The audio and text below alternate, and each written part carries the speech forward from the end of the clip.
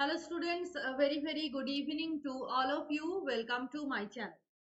This is a very important class on Indian English Literature Part 2 and today we will talk about early Indian poets.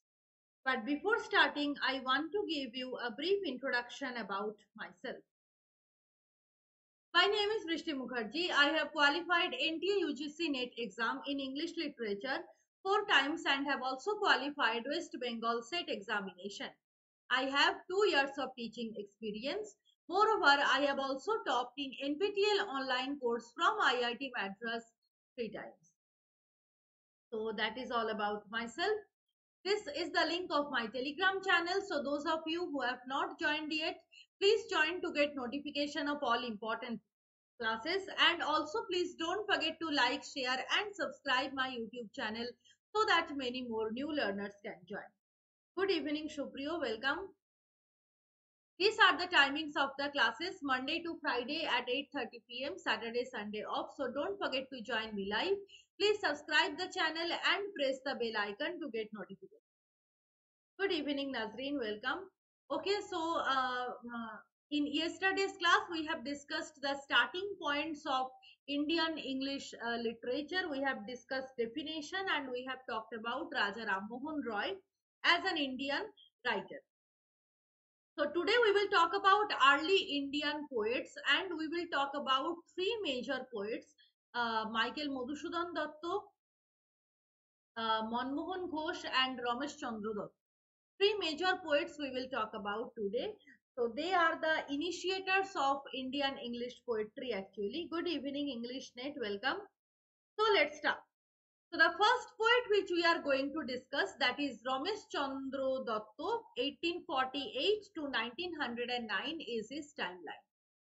So uh, Ramesh Chandra Datta and uh, the major other Datta members they are important for Datta family album the first important uh, anthology in that sense of Indian uh, poems.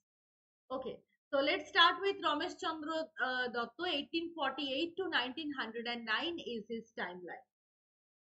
Acha, that uh, spelling D-U double T. Okay, Ramesh Chandra, I think one T is not visible. Uh, D-U double T is the correct spelling. Ramesh Chandra Datta. So uh, he was born on 13th August 1848 in Kolkata and he was basically a national leader of the pre-Gandhian era. So he was famous as a nationalist leader. He was the nationalist leader of the pre-Gandhian era. So before the arrival of Gandhi, Ramesh Datta initiated the nationalistic impulse. As I have already told you in yesterday's class that during the time of Indian Renaissance, after the Battle of Palasi, there was uh, a kind of interest for nationalistic uh, fervor in Indian literature and also in Indian society. So, usme ek member tha Ramesh Chandra Dutt Good evening, P. K. Learning, welcome. he was actually the cousin of Toru Dutt. You all have heard the name of Toru Dutt and we will talk about Toru Dutt also in the next class. So he was the cousin of Toru Dutt. He studied at Presidency College and later he became ICS official. Indian Civil Service uh, qualify करके वो ICS officer बना था but he took voluntary retirement at the age of 49 to devote himself in writing okay so he wanted to become a writer so he resigned from his job as an ics officer so that was great thing and he took voluntary retirement at the age of 49 just to become a writer, just to devote himself in writing.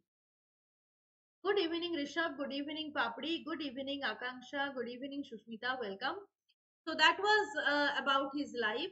Now he was actually advised by Bankim Chandra Chatterjee to write his novels in Bengali. Okay, so, but later he translated and uh, he also wrote his individual novels or original novels in English. So basically he started his writing career by uh, translating two novels in English.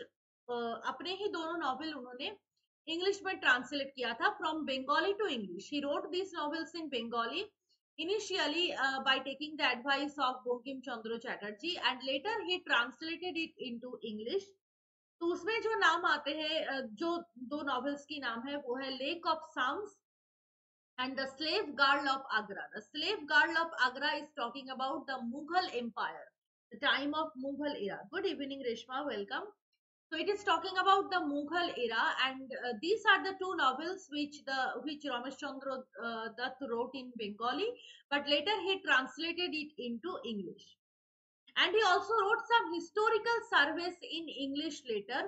तो उसमें कुछ famous है a history of civilization in ancient India the economic history of British India. This is more famous. I hope you have heard this name in your history books. The economic history of British India. India in the Victorian age, very interesting. India in the Victorian age. So these are the works of, uh, these are actually historical surveys. The chronological collection of historical events that was there in these works. So uh, that was about uh, his early uh, novels. Okay. Now there are some other works also. He wrote Lays of Ancient India. Here lay actually means verse. Lay means verse. Okay, so Lays of Ancient India, it was actually a collection of verse translation. Translation work from Sanskrit and Prakrit. He himself translated these uh, uh, poems from Sanskrit and Prakrit into English and वो collection का नाम था Lays of Ancient India or words of ancient India. Okay, and very importantly, his major contribution in the field of Indian literature was the translation of Ramayana and Mahabharata into English from Sanskrit. Right, so he was uh, actually one of the first members uh, in the field of Indian English literature जिन्होंने translate किया था Ramayan and Mahabharata from Sanskrit to English. And this is very important because he actually wrote an abridged version of these two great epics. Okay, so actually the Ramayana has uh, 40, 48,000 lines and Mahabharat almost has 2 lakh lines. तो इसको उन्होंने translate किया था average version में into 4000 lines he shortened the version of those great epics and this was basically for children edition तो उन्होंने 4000 lines में इसको ट्रांसलेट किया था, इसको एवरेज करके ट्रांसलेट किया था the whole epic of this long line okay good evening Shravani welcome and that was very important. And in this particular translation the introduction was written by max muller. So, ये भी याद रखना introduction was written by max muller. ठीक है and he adopted the locksley hall meter. ये question में आ सकता है कि which Indian writer adopted locksley hall meter? Actually it is by Tennyson right? Locksley hall is a specific poem by Tennyson and he used a particular meter here. So uh, ramesh chandra datta adopted loxley hall meter uh, in this particular translation of ramayana and mahabharata that is why it is very important and um, earlier it was published as temple classic series जब first year translation publish हुआ था तो दोनों epic का translation एक साथ publish हुआ था Ramayana and Mahabharata in a single collection and that collection is known as temple classics series So that was basically the major contribution of Ramesh Chandra Datta in the field of Indian uh, English literature. Uh, uh, he was the first person, almost the first person to translate Ramayana and Mahabharata into English and in a so systematic way. तो ये आप समझ रहे हो कि इतने सारे lines को छोटे मोटे करके लिखना ये बहुत इजी बात नहीं है but he translated it very well and it was greatly praised and the introduction was written by Max Muller good evening Shubhas welcome तो नेक्स्ट क्या है? नेक्स्ट जो है, वो है Dutt family album that was the earliest collection of purely Indian English poems that is why it is very important Dutt family album published in 1870 तो basically it is a collection of 187 poems written by not Ramesh Chandra Dutt but the brothers of Ramesh Chandra Dutt like Govind Govind Chandra Dutt Pur Chandra Dutt and Umesh Chandra Dutt तो इन तीनों ने मिलकर ये collection लिखा था दत्तो family album published in 1870 So it is a collection of 187 poems. So you can understand it's a massive collection, right? And all the poems are written in purely Indian English format. So very important and very interestingly, two poems are dedicated to William Wordsworth. दो poems था Wordsworth के ऊपर uh, inside that family album. Some of the poems are also historical. like the death of Muhammad Khori, Jahangir's lament, etc. Talking about the Mughal Empire, talking about the Sultani uh, uh, era of Indian history. तो कई सारे important historical events और major historical persona के ऊपर poems based था and all this poems are written by three Dutt brothers Govind Chandra Dutt Pur Chandra Dutt and Umesh Chandra Dutt okay so remember that that was about Dutt family album okay?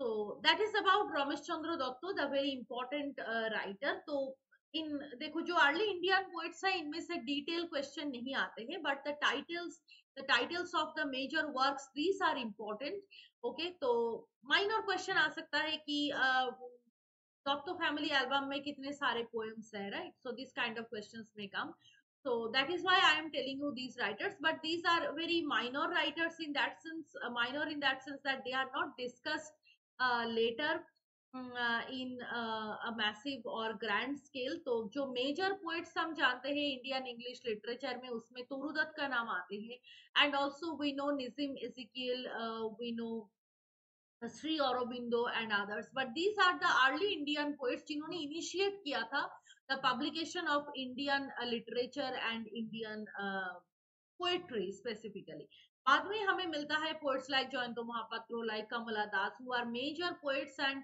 जिसके work से बहुत question आते हैं. But these are the minor works तो बहुत ही कम details है बट इम्पोर्टेंट ओके यस तो चलो नेक्स्ट ऑथर पे आते हैं Manmohan Ghose 1869 to 1924 he is also a poet manmohan ghosh early indian poet 1869 to 1924 So what about the biography of Manmohan Ghosh? He was born on 19th January 1869 and uh, Manmohan Ghosh again G H O S E होगा ठीक है Manmohan Ghose, uh, 1869 to 1924, and he was born on 19th January 1869. He was actually the elder brother of Sri Aurobindo, who was a major poet. Sri Aurobindo Savitri uh, was the uh, most important work. जिससे आपका question बनता We will also talk about Sri Aurobindo.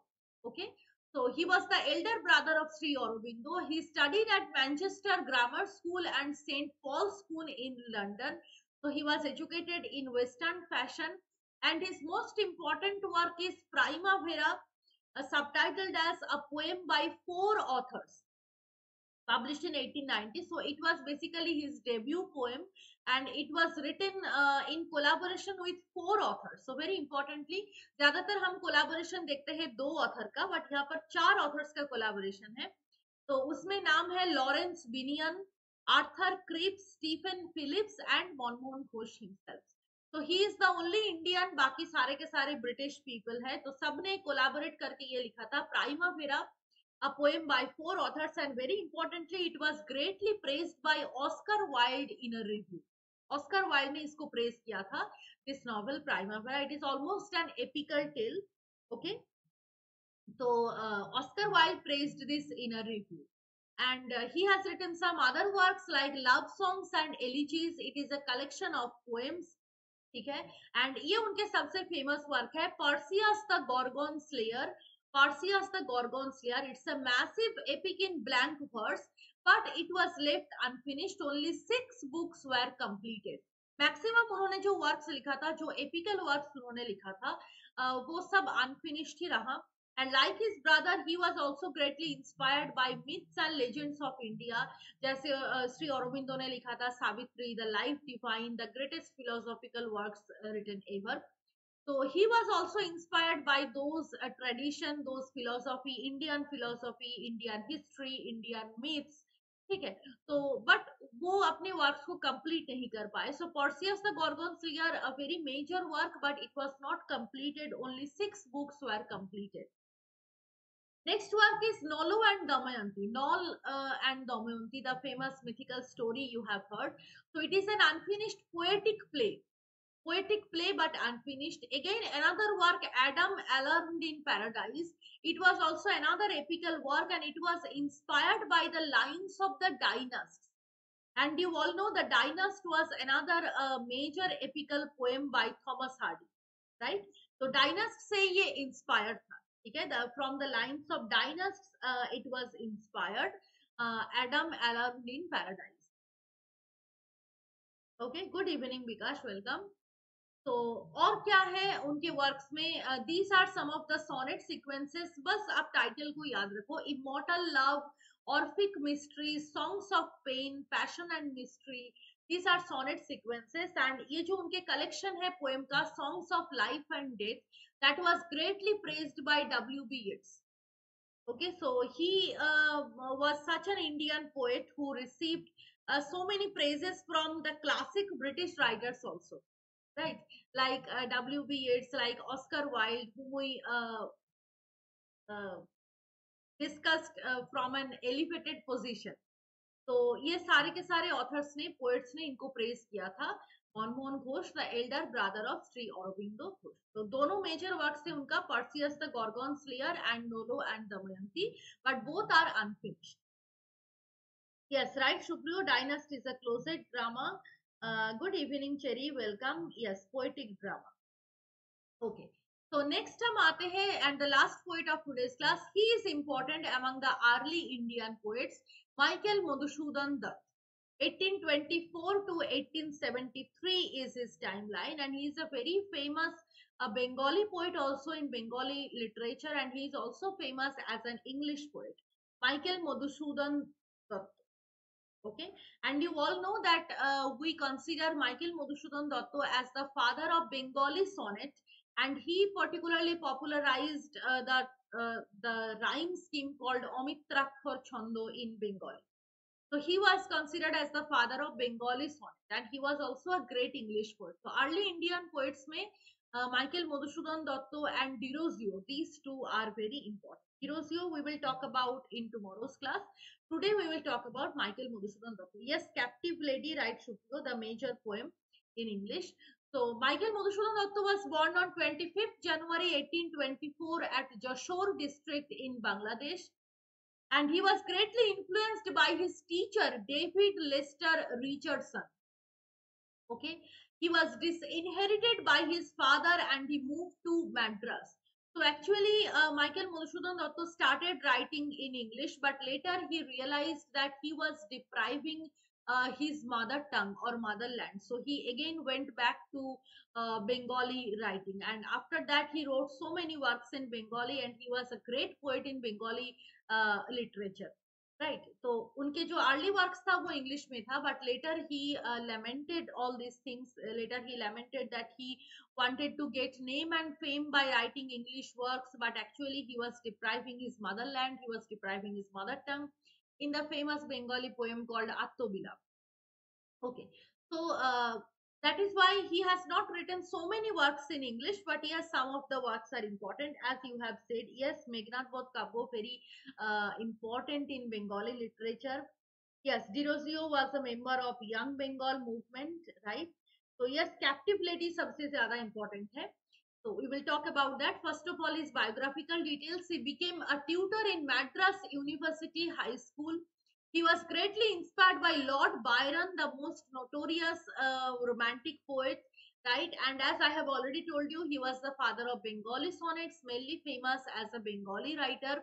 And ये एक famous quotation है जो श्री अरविंद घोष ने कहा था उनके बारे में कि God himself took up Dai pen and wrote he praised uh, Michael Madhusudan's talent and he uh, wrote this thing about him that God himself took thy pain and wrote.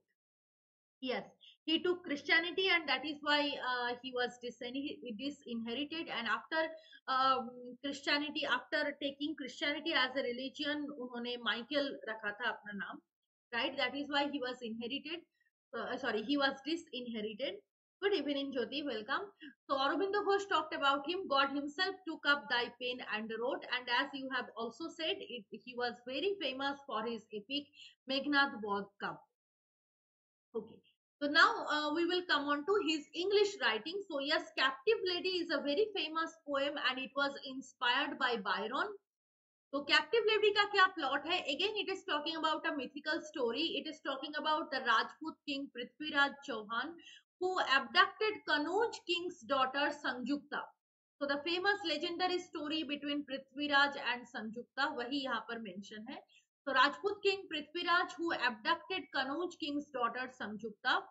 The king of Kanauj is against this marriage, so he plans with Muhammad Ghazni to kill Prithviraj.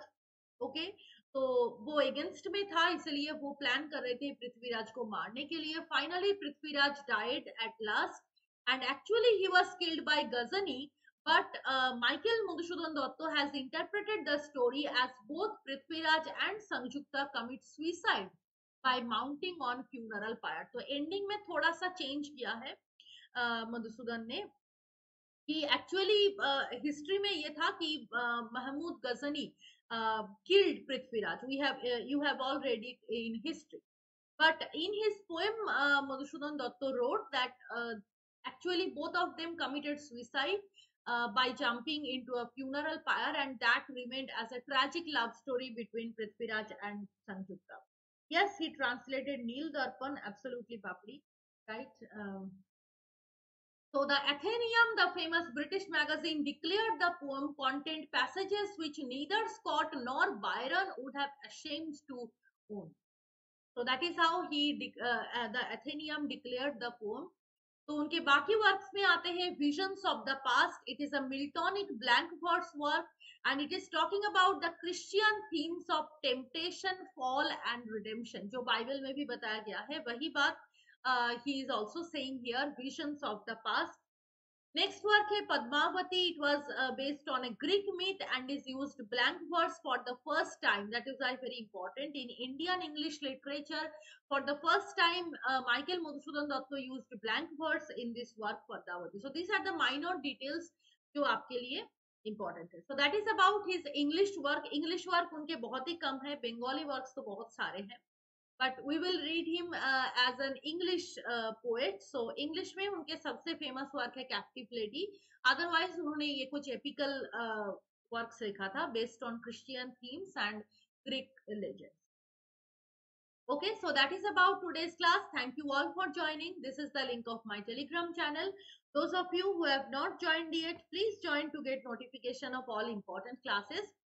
So next class will be tomorrow at 8.30 p.m. and tomorrow we will talk about some other uh, major early Indian poets uh, जिसमें uh, we will also talk about uh, the other poets like Derozio okay? So don't forget to join me live. Please subscribe the channel and press the bell icon to get notification. Okay so thank you all. Bye bye everyone. Good night. See you all tomorrow at 8.30 p.m.